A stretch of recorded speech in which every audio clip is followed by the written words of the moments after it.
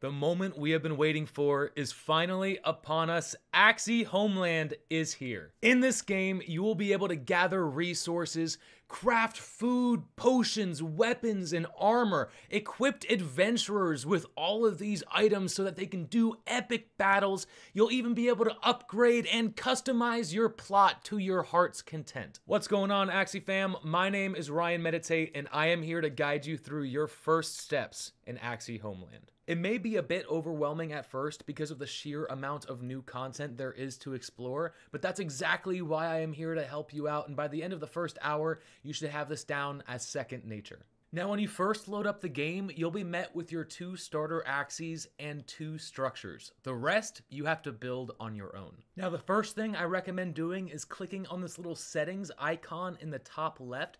This will allow you to change the graphical settings to be optimized for your specific PC. I also recommend toggling the Show Hotkey button. This will allow you to navigate the user interface with your keyboard, which will massively speed up the process. Now, by looking on the top left, you'll see your player icon and your plot icon. By clicking on that little information button, it'll show you all the info you need to know about your plot. By clicking on the top of the window, you'll actually be able to rename your plot to whatever your heart desires. You will also be able to assign a special property to your plot, but please keep in mind that you can only do this one time. Now, your plot of land will start off as normal type, but each of these special properties will come with both pros and cons. If you own multiple plots of land, then you may want to specify one plot specifically for agriculture, or one plot specifically for metalwork. But if you're just unsure, or you only have one plot to work with, then it's best to just stick with the normal type. From here, you're going to want to start collecting resources so that you can build more structures and go from plot to village to city to empire. But you'll quickly notice that your Axies are just standing around idle, not really doing anything. So we've got to give them a task. First off, to get a better view of your surroundings, use the wheel on your mouse to adjust the zoom settings. To keep your Axies busy, simply click on the resource in question, click the little axe icon, and the next available Axie will automatically start performing that task. For an even faster method, simply left click the mouse button over the resource and an Axie will automatically start gathering that resource. You can even queue extra tasks for an Axie to begin working on once they've finished their original task. Now, while there are a ton of different resources in this game, the main two are wood and stone. And once you have enough of these, you're going to be able to start creating more structures and upgrading your plot. Now, if you watch your Axies gathering wood long enough, you'll notice that they have to walk all the way from the tree to the altar every time they have a full load. So the first structure I'm going to create is a wood pile for wood storage. So instead of having to walk all the way back to the altar, they're only going to have to walk a few steps to the new wood pile. To create a new structure, you can click the C button on your keyboard or click the hammer in the bottom right. This will toggle the construction menu. We can then click on our woody warehouse and place it near the trees that need to be gathered. And once the construction is finished, Axies will only have to walk a few steps to deposit their load of wood.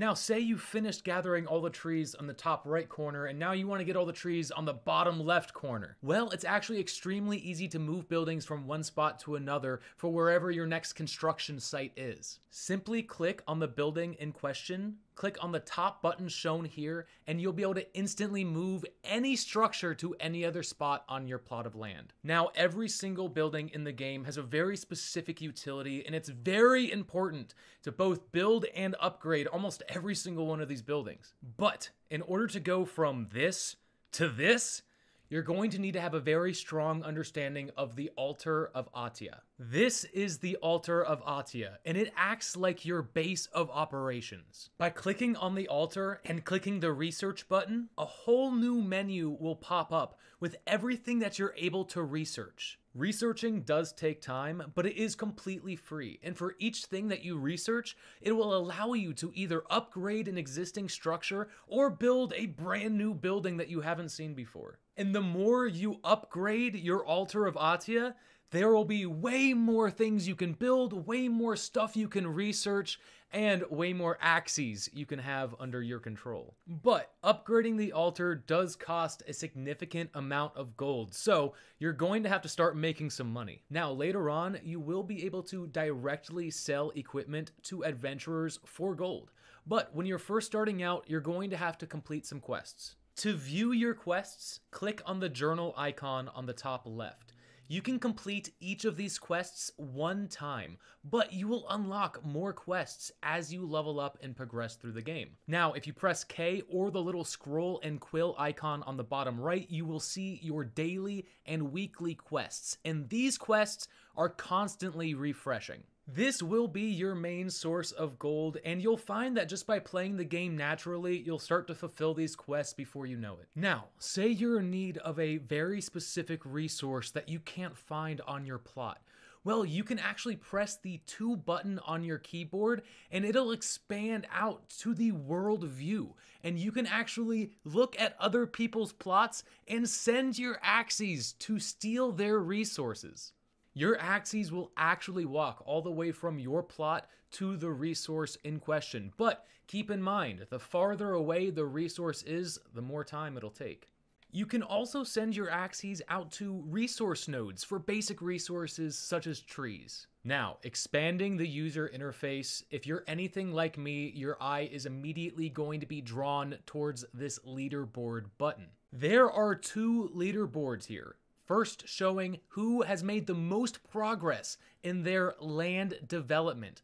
And secondly, showing who has made the most progress in the Lunacia adventure. Now, my first thought was land development, of course, this is obvious, but Lunacian Adventure, what is this and how do I become a part of it? Lunacia Adventure is very important. This is where you're able to send adventurers into battle and even watch as they battle through multiple floors and multiple hordes of enemies to perform their very best as a warrior. The more enemies they defeat, the more points you will earn and the higher you will be on the leaderboard. But in order to start participating in Lunacian Adventure, you will need to first build a survivor shop. Otherwise, your adventure tabs will look like this. So go ahead and build your survivor shop, and once it is finished, you will be able to click on your adventure trading tab, and you will notice all your adventurers line up ready to trade and go into battle. Now, new adventurers will only appear after a given amount of time, but they will continue to appear until your queue is full. After releasing your adventurer for battle, you can then click on the Lunacia Adventurer tab to view the results of all your past battles or watch your adventurer live as he battles through the floors. Now, once you progress a little bit further, you'll be able to equip things like food and weapons to your adventurers, and you can actually review their stats and skills to make sure that you're giving them the best item for the adventurer and have them perform the best they possibly can. Now, let's talk about aesthetics. When you're ready to start decorating your plot of land, click on the construction button, then click on the little flag icon. Click on decoration library and you will then be able to see all of the land items that you are currently holding in your Ronin wallet. You can only select up to 10 different styles of item per plot. So go ahead and select your items and then you'll be able to place them anywhere you'd like. And before you know it, you'll have a gorgeous piece of land fit for an Axie King. Now, if at any point you are confused about what something does, you can always click the little information icon next to the structure, and it will give you all the available information on that structure and what its utility is. The auction house is also very important.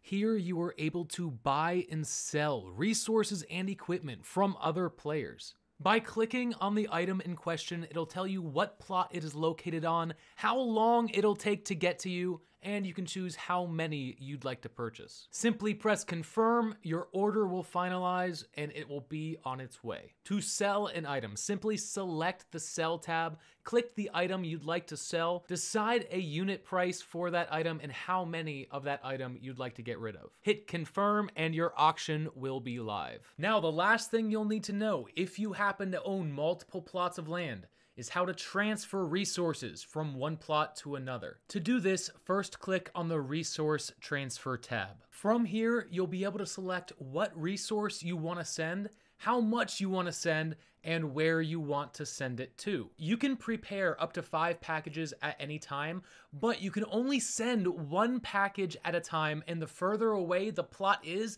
the more time it'll take to transfer that package. Now, anytime assets are transferred or you buy something from the auction house, you'll have to pick up that package from the post portal. But please keep in mind, in order to transfer resources from one plot to another, you need to toggle this button in the top right corner. And with that, you should have all the knowledge you need to begin your journey. As for the rest, I'll let you discover that on your own. I'll see you in the homeland.